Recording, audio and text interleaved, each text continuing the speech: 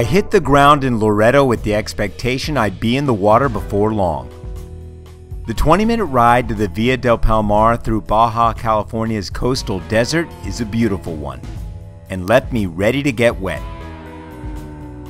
Jacques Cousteau called the Sea of Cortez the aquarium of the world, and I was going to experience some of that crystal clear water as soon as I could.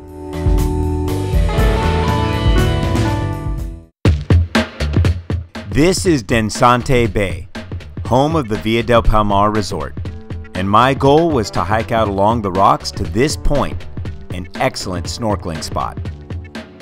The tide was out, so after a quick but sometimes challenging walk along the jagged rocks and deserted coves, I found my entry. Just found a little spot here, about a 15 minute hike from the resort, and I'm just gonna go in from the rocks over here. It looks like the water's absolutely beautiful. Time for a snorkel. So I threw on my fins and hit the water.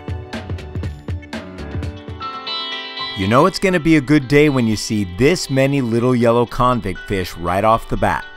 Because little fish bring the bigger fish. And my first never saw that before moment came right here when I came across this very large guinea fowl puffer. Guinea fowl puffers get to be around 20 inches long, and this one was at least that. Closer to 2 feet. Definitely the largest one I've ever seen. Puffers have a reputation of being poisonous, but that's only if you eat them. So this big guy will not be on the menu anytime soon. There are several varieties of puffers here, and I was following this little bullseye puffer when out of nowhere, a baby eel sprang out and attacked him. See that? Watch it again in slow motion. Ouch! That's how fast things can change around here. There are a ton of these spotted rays here which generally seek to avoid contact.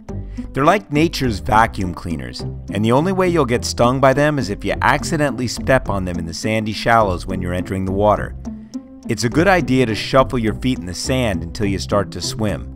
If you do that, you'll send them scurrying for deeper water. See ya!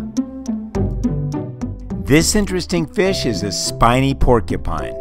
You shouldn't touch any fish on purpose, but if you touch this puffer, he may have a pointy little surprise for you.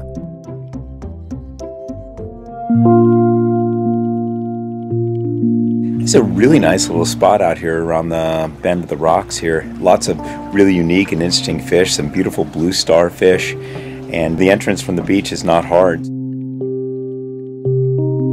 The sheer numbers and diversity of undersea life in the Sea of Cortez is mind boggling, and I hope the environmental managers of this world's aquarium can keep it healthy and growing.